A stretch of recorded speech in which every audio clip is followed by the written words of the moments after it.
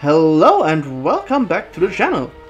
Well, I know it's been some time since I did a proper War Thunder aircraft guide, so I thought, why not do one right now? And the aircraft we are covering today really is something else. Today we take a look at the Aichi B-7A Ryusei, a dive slash torpedo bomber that actually excels more in the fighter role. And with this new guide I'll also change the approach to these videos. While I normally do an extensive history part before the gameplay shenanigans, I'll try to keep the history parts shorter now, giving more of a basic overview um, of the aircraft's history so that I have more material for actual history videos, which seem to be rather popular with you guys. So then, let's take a look at arguably the best fighter bomber in the game. And of course we'll start with the short history part, but actually there isn't really that much known about the Ryusei, mainly because of its short operational career and its rarity. If I really want to do a proper historic aircraft guide to this machine, I really need to get my hands on some uh, some sources for this aircraft because there really isn't that much, much around. But anyways, its origins trace back to a 1941 16G specification for a combined dive and torpedo bomber. At the time, the Japanese Navy operated their dive and torpedo bombers differently, with a certain aircraft for each role. At the beginning of World War II, these were the Aichi D-3A Val in the dive bomber and the Nakajima B-5N Kate in the torpedo and level bomber role. These were to be replaced by a newer generation of aircraft, respectively the D-4Y Judy and the B-6N Tenzan. The replacement for these types in turn was to be a single aircraft, the B-7A. Previous aircraft had been limited by the standard size of aircraft elevators in the IJN. The new Taiho class of carriers featured bigger elevators, meaning the new aircraft could be designed bigger than its predecessors. It also had wings that didn't fold only at the wingtips, like for example the Zero or the D3A had, meaning that storing the aircraft in the enclosed hangars of IJN carriers was much easier. For a first in Japanese carrier aircraft, the B-7A featured a true enclosed bomb bay that could house bombs as big as 800 kilograms. Smaller bombs could be carried under the wings as well. The aircraft was also capable of carrying a single torpedo, however this had to be carried outside of the bomb bay since the Type 91 torpedo wouldn't fit into it. The large wings were equipped with dive brakes, and with a wingspan of 14.4 meters, the Ryusei was one of the largest carrier-capable aircraft in the IJN's arsenal. Similarly to the F4U Corsair and the German Junkers Ju-87, the B-7A featured an inverted gull wing. This allowed the landing gear to be much shorter and more sturdy, while still, still giving the aircraft enough clearance for its large propeller. The aircraft was piloted by a crew of two, a pilot and a rear gunner who operated a 13.2mm heavy machine gun. The forward-facing armament of the B-7A was unusually heavy for a Japanese dive bomber and consisted of two Tomioka Type 99 20mm cannons with 200 rounds per gun. Compare this to the 77s of the previous D4Y Judy or the D3A. Indeed, the B-7A was on par or exceeded the performance of its American counterparts, the SB-2C Helldiver and the TBF Avenger, except for its payload, which was somewhat lower than on its American counterparts, which is, be is, is because of its uh, limited bomb bay size. The aircraft was fast, with 567 km per hour top speed thanks to its powerful 18-cylinder Homare engine and it had plenty of range at roughly 3000 kilometers. Not only that, but the aircraft's low wing loading made it highly maneuverable. This has led to the aircraft sometimes being called its own escort, since with its good performance and potent armament, the aircraft was on par with the then current version of the A6M0 fighter. The prototype B-7A flew already in 1942, but the aircraft was seriously delayed because of difficulties with the unreliable Homare engine.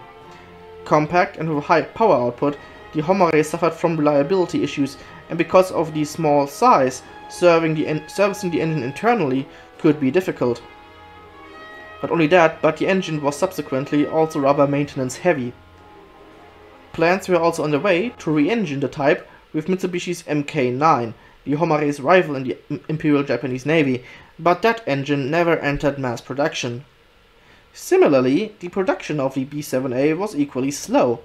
Allied bombing raids crippled the Japanese infrastructure, and an earthquake destroyed the factory at which the Ryuseis were assembled in 1945.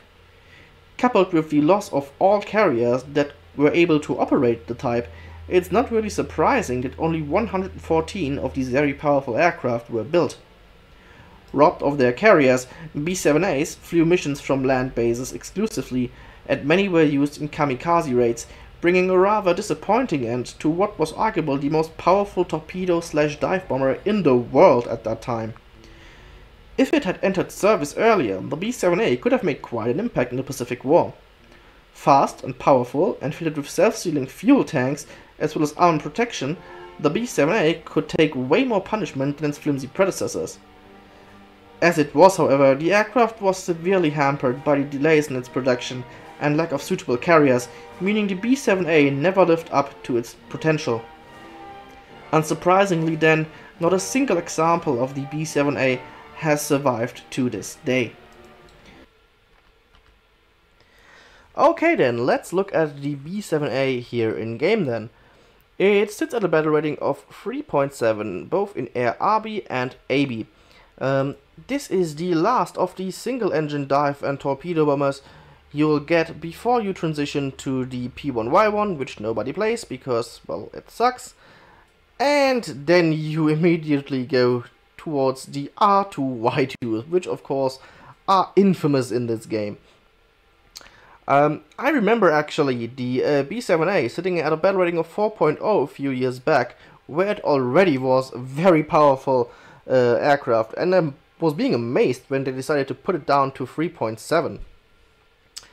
Uh, one reason might be its payload, because the payload is actually somewhat less compared to its American counterparts. You can get either the big 800 kilogram bomb, um, two 250s plus 460s, or 10 60 kilogram bombs, or, well, you can equip the torpedo, which nobody does because, well, eh, torpedoes, they suck in War Thunder.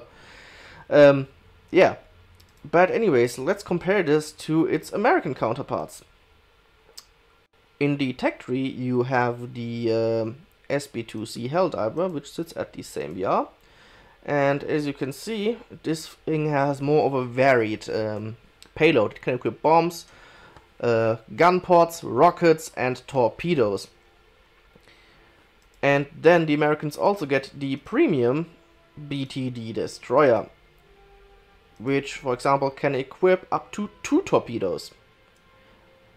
So the B7A, at least in the payload department, is a little bit behind uh, compared to its American counterparts. However, it makes up uh, more for this with its performance. Um, it is a comparatively cheap aircraft to run. As you can see, 2,847 lions, that's not very much. Um, the aircraft has plenty of ammunition for its 20mm cannons, as you can see 200 rounds per gun. This allows you to engage multiple targets without really running out of ammunition. Let's also quickly take a look at the guns themselves. Uh, you can see 490 rounds per minute, that's comparatively, uh, that's a rather low rate of fire compared to other 20mm weapons you'll find on um, other aircraft of other nations. But these are the Type 99 Mark IIs. These have a slightly higher muzzle velocity than the earlier Type 99 Mark 1 you'll find on, for example, the early Zeros. The muzzle velocity still really isn't the best, but once uh, once um, you've learned how to aim with these guns, their slow firing rate actually will allow you to conserve ammunition while still ensuring accurate fire. Not only that, but these 20mm shells, they hit pretty hard. They have a comparatively high amount of explosive filler. In terms of modifications, this really depends um, on which playstyle you want with the B7A. As a dive bomber, it obviously is a viable choice to go for the um, bomb modifications first. If you like me, however, and fly this thing more as a fighter bomber, the performance mods come first and then you go for the bomb mods. The B-7A can be a decent ground attacker in RB as well, but its strengths, in my opinion, lie in its performance and the element of surprise this aircraft can achieve. Nobody really expects a dive bomber to really take on enemy fighters, but this aircraft certainly can so. As for the belts, um, I'd either go for the tracer belts or the stealth belts. Me personally, I like to use the uh, stealth belts on the B7A. And that's really all we can say about the B7A here in game. It of course gets one skin, which you can find on the marketplace. This one, um, which is a fictional one. Uh, to my knowledge, no B7A has ever employed this sort of color scheme. Uh, if I remember correctly, this sort of uh, camouflage was used on some of the medium bombers of the IJAF, like the uh, Ki-49. I think they used this over China, but B7A is never, at least to my knowledge, never employed this sort of camo scheme. Anyways, let's see then how this aircraft behaves in the sky. Well then, now for our first battle with the B7A. And what I'm doing here is basically what you should do when you're playing the B7A and start a match.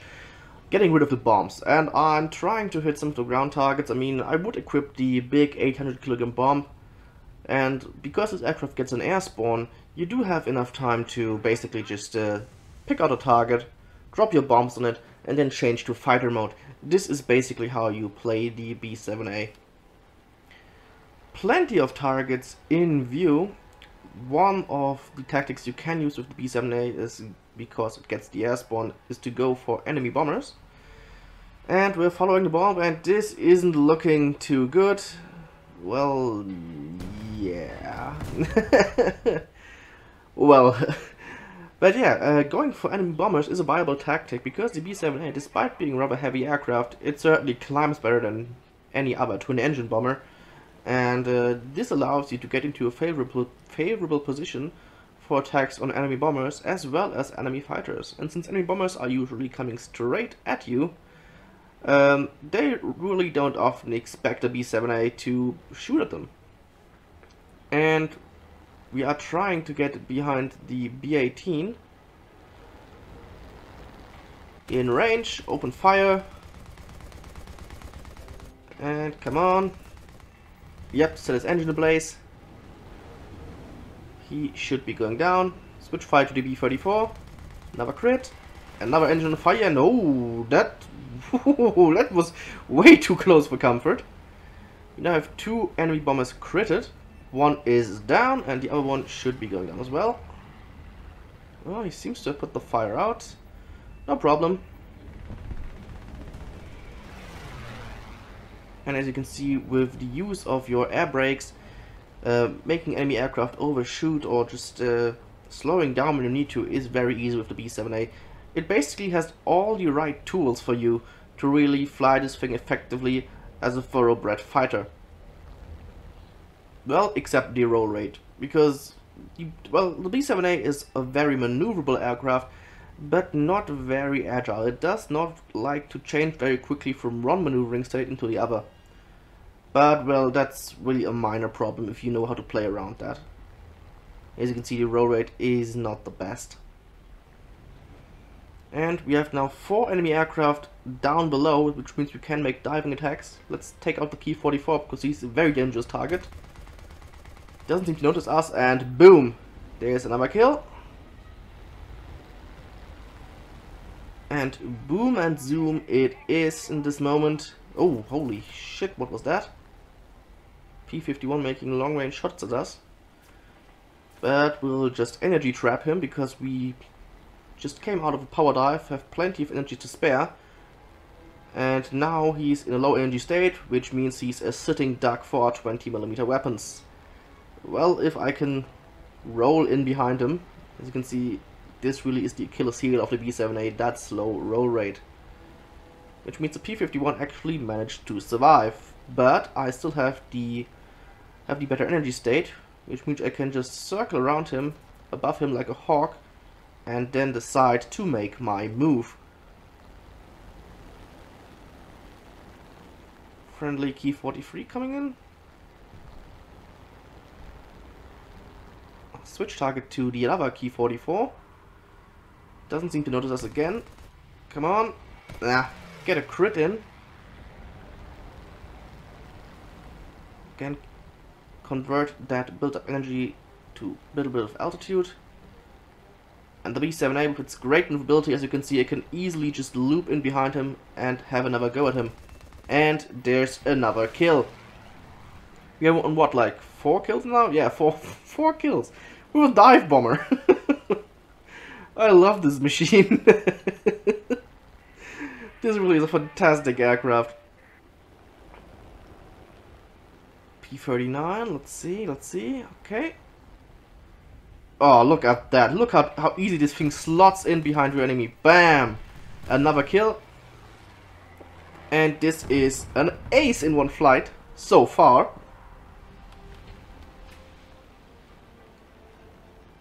And we still have plenty of shots. We have enough ammunition to get at least two more kills if we be a little bit less trigger happy. Yak 9, okay.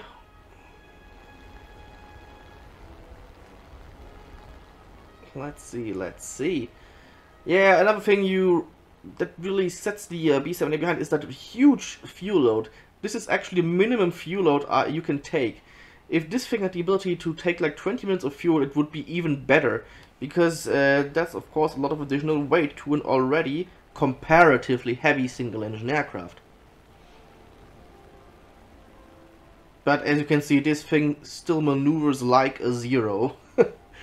Really is an amazing aircraft in this game. I mean, you, you, you don't see that many B-7As uh, in RB, and I have to wonder why, because this is such a fantastic machine.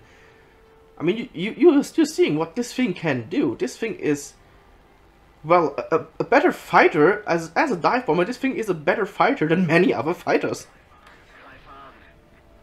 And a P-63 inside, let's see if we are able to get him. He does have some uh, free F2 on, on, of our team on his ass, so doubt he's doubt he's gonna make it. Uh, it doesn't doesn't seem we're gonna make it here there in time before he goes down. That J26 certainly has a drop on him. Oh, maybe. Uh, ah, okay, nope. The Ki-61 got him. Good for him. I could go for ground targets a little bit, but I don't want to waste this ammunition. I have a feeling I'm still gonna need it. So we are not gonna go ground strike mode, which this aircraft, by the way, can do. I mean, you do you do get uh, we can select two 250s and four 60 kilogram bombs. So yeah, it might be a better better bomb load for if you want to go fly this thing in ground RB. But well, air RB is really where this aircraft shines. And now there's a Hellcat coming in and a Yak. And I don't really want to engage these guys alone. Biggest problem is the Yak 3. The, Hellcat I can easily take, but the Yak is uh, fairly maneuverable as well and has a better roll rate. If he's good, he can fly some fancy maneuvers. A Hellcat 1 versus 1 doesn't stand much of a chance against a B7A, which is, if you think about it, rather funny.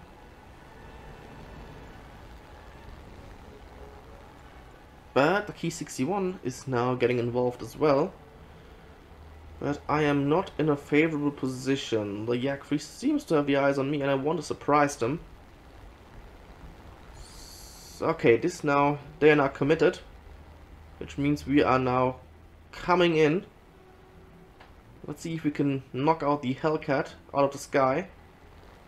Oh yeah, oh, perfect target. And crit Certainly something fell off from his aircraft. And he's... Oh no, buddy. Yeah, there it is. Finished him off and the Yak 3 is ma making his move. We're evading him and look at that. Look at look at how you can throw this aircraft around. And I am now behind him, but he is playing this rather smartly. He's not committing himself to a full turning engagement with a B-7A.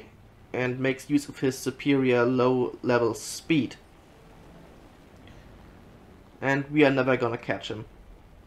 The B-7A is pretty quick for a dive bomber, but against most other fighters it is still uh, rather slow. Turning and burning, or getting the drop on your enemy is really where this aircraft uh, makes its kills with. Let's try to evade the P-51. And we do. He seems to be committed on the Ki-61.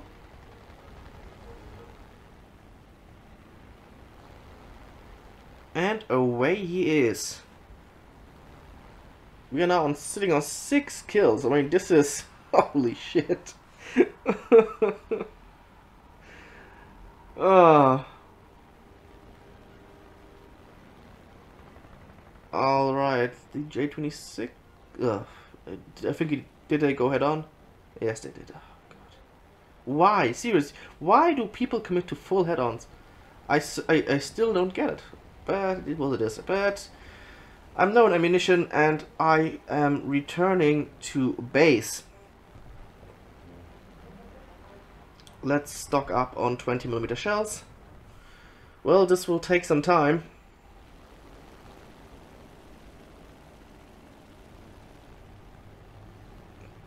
But, well... Well, let's skip ahead.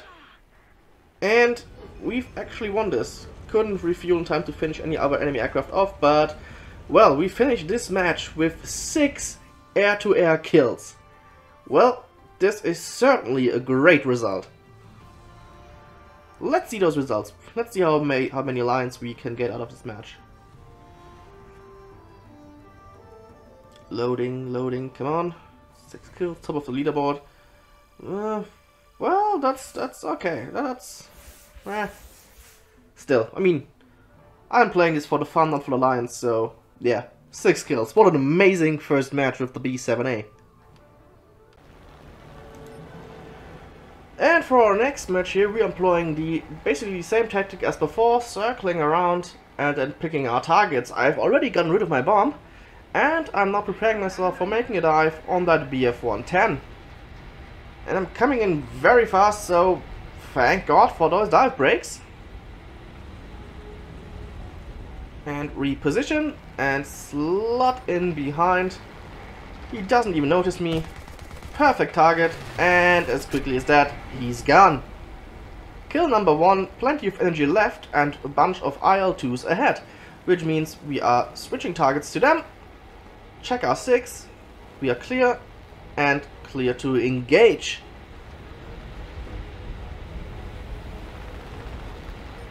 Okay, one of the R2s has gone down. Let's see if we can get the kill on the second one. Coming a little bit a little bit fast, which means our B7A is a little bit more sluggish to react. Again, very maneuverable, but does not like to change uh, from one maneuvering state to the other. No problem, looping around. We have another go. But he just doesn't whoa that was close. Just doesn't want to go down. Again, taking it to the vertical, bleeding our energy so that we can stay on that IL-2. Come on, this is the shot. Yes, there it is. Kill number two took way longer than it needed to be, but a kill's a kill. ME410 coming in hot. He is... Oh, oh shit, yeah, he's definitely uh, coming to that head on. I think that's one of the 50 mil. I did see a big single shot coming out in front of him. Yeah, that's that's an ME410 with the 50 mil. Need to be careful about that. And now there's some uh, some of his friends coming in. Uh, don't really like the sight of that. Let's distance ourselves a little bit and then re-engage. We are now not in the best position. When the B7A loves to dive on its targets and uh, not to be dove on. So yeah. We need some distance to regain some altitude and then re-engage. With that P40 on our ass, that's not gonna happen. Fortunately, our team is there and now we can re-engage. Let's see if we can get on that P-40's ass and knock him out of the sky. The ME-410 is also returning. Okay, and we also need to keep an eye out for that, for that Typhoon on the left. Let's see if we can get the ME-410. Uh, again, missed my shot. And, uh, okay, now I need to be careful not to get shot by his... Ah, good hit. Yes, and there it is. He's on fire. He should be going down. Oh, and there's the P40!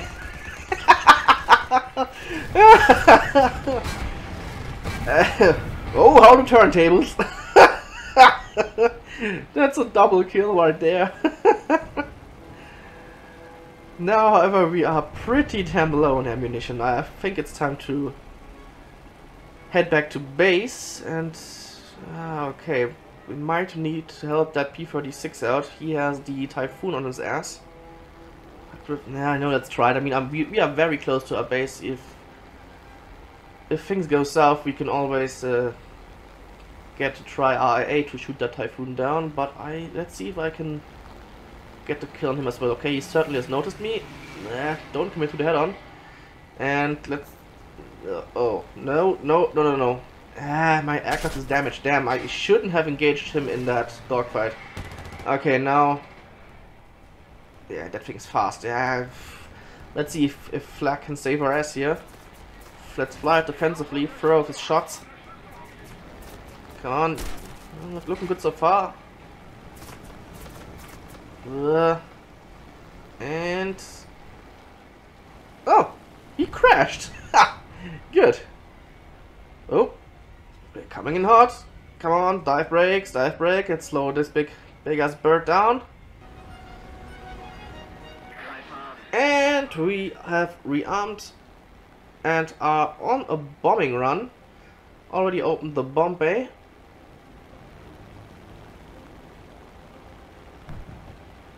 Okay, let's see. There's a Focke-Wulf ahead. And the plan is to just drop my bombs on one of the pillbox positions and then make a beeline for that Focke-Wulf. Gunner view, come on, light up the target, and bombs away.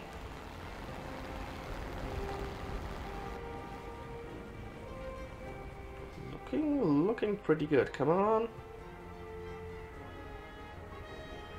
And almost dead center, that should give us, yep, two kills.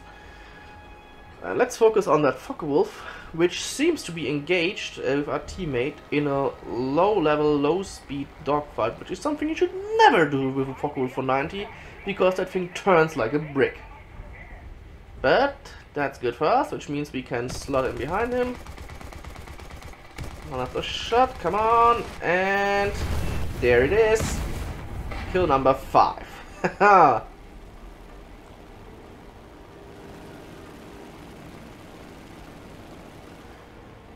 saved our teammate there.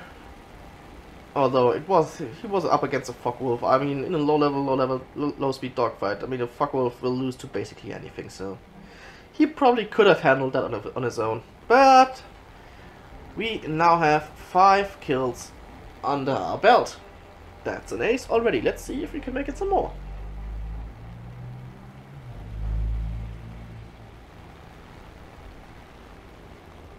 Mm -mm -mm.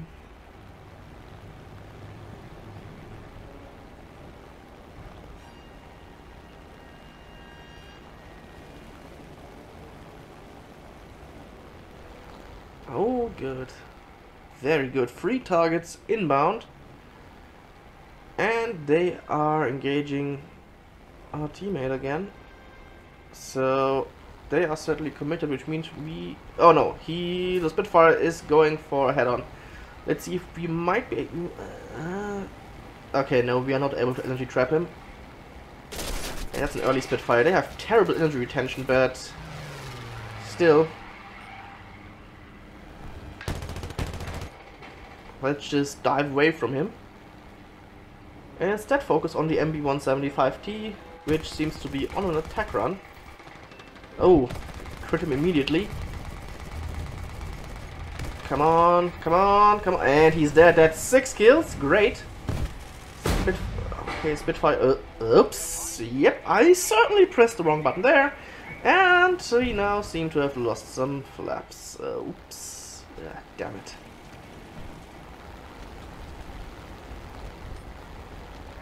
Ah, who needs flaps? Let's swing back around. IL-4 coming in, let's see if I can intercept him. We do have plenty of ammunition. Come on. There's a hit. There's a crit. Ah, sadly no fire.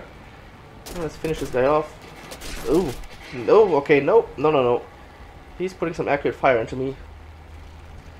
Let's instead focus on that Spitfire, who is in a dogfight with a Ki-44. Yeah, Ki-44 isn't looking too clever here.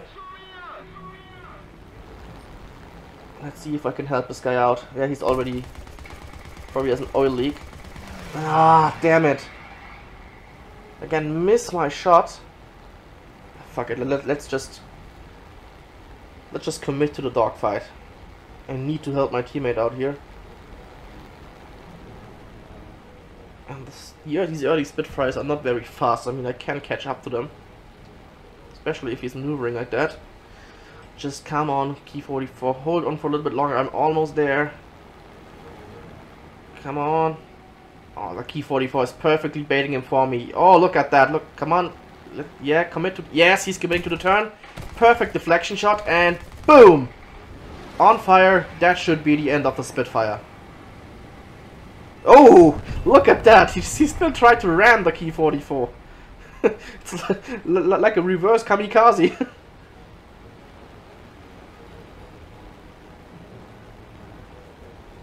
ah.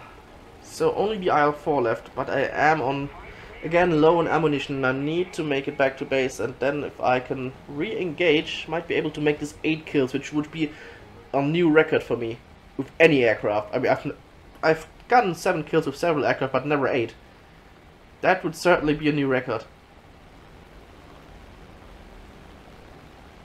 I really, uh, I hope I can shoot this guy down. Well then, let's let's first head back to base.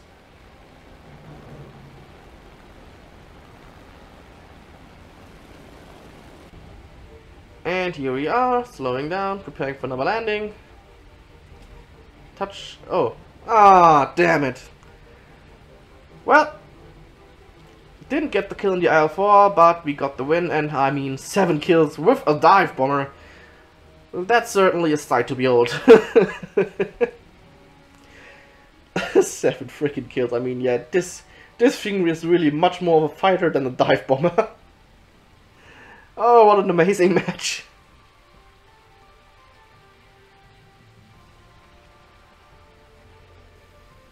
Look at those results, I mean, that's insane. But that's got to show how, what a spectacular aircraft the B-7A can be. Nobody expects the dive bomber to be this good, but the B-7A, I mean, this thing can certainly punch above its weight.